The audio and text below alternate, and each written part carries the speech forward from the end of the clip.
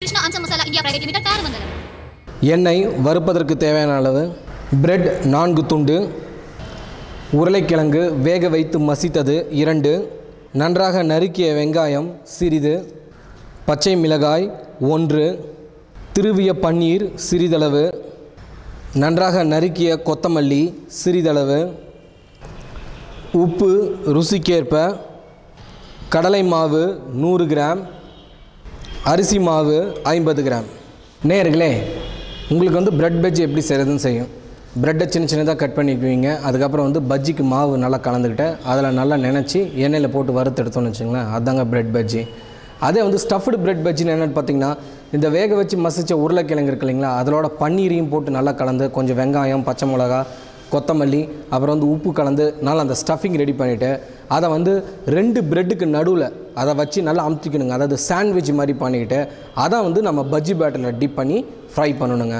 இப்போ அந்த பேட்டரி எப்படி ப்ரிப்பேர் பண்ணுறது மற்றும் அந்த ஸ்டஃபிங் எப்படி ப்ரிப்பேர் பண்ணுறதுன்னு பார்ப்போம். நல்லா மசிச்சு வச்ச உருளைக்கிழங்கோட பன்னீரையும் போட்டு அதுலேயே நறுக்கின கொத்தமல்லியும் போட்டுக்குங்க. போட்டுக்கிட்டு கொஞ்சம் நறுக்கின வெங்காயத்தையும் அதிலே ஆட் பண்ணிக்கோங்க.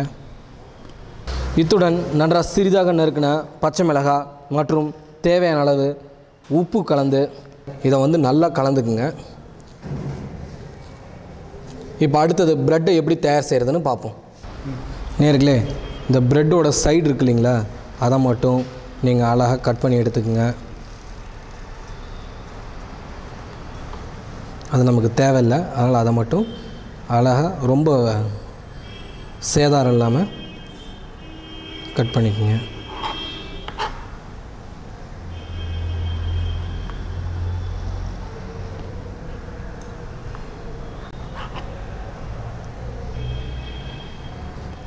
இந்த மாதிரி பண்ணதுக்கப்புறம் இதையும் ரெண்டாக கட் பண்ணிக்கலாம்.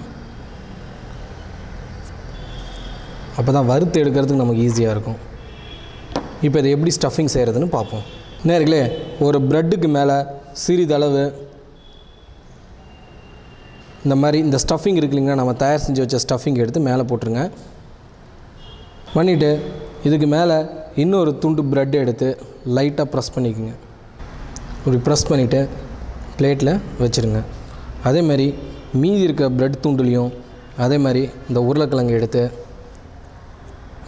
லைட்டாக ஸ்டஃபிங் ரெடி பண்ணி வச்சுட்டு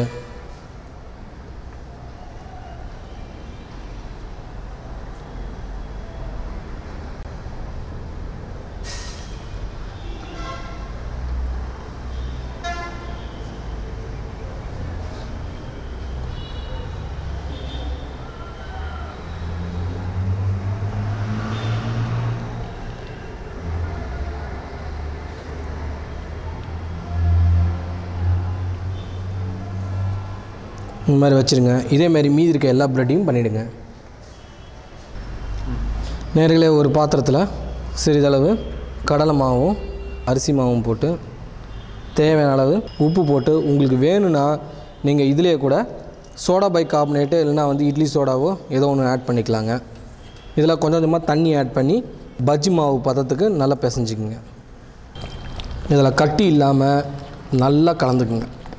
நேர்களே இதுலேயே ஒரு அரை டீஸ்பூன் சில்லி பவுடரும் கொரியண்டர் பவுடரும் ஆட் பண்ணிக்கோங்க. அதனால் உங்களுக்கு கொஞ்சம் நல்லா ருசி கிடைக்கும்னு வச்சுங்களேன் இதில் நீங்கள் கொஞ்சம் சீரக பொடி கூட போட்டுக்கலாம். உங்களுக்கு வந்து நல்லா வாசனையாக இருக்கும். ஒரு வானலில் வறுக்கிறதுக்கு எண்ணெய் ரெடியாக வச்சுக்கோங்க. இப்போ இதை எப்படி வறுத்து எடுக்கிறதுன்னு பார்ப்போம். முதல்ல இந்த ப்ரெட் இதை நல்லா எடுத்துக்கோங்க.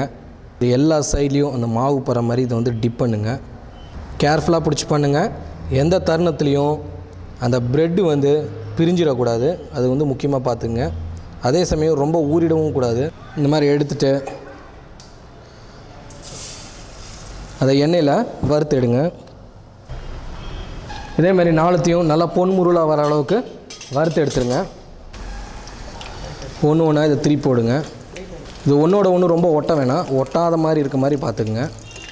கோல்டன் ப்ரௌன் அண்ட் கிறிஸ்பாக இதை ஃப்ரை பண்ணிவிடுங்க நேர்களே இப்போ இந்த ஃப்ரை பண்ணி வச்ச பஜ்ஜை ஒன்று ஒன்றா எடுத்து இதே மாதிரி ஒரு நாப்பி பேப்பரில் போட்டுருங்க.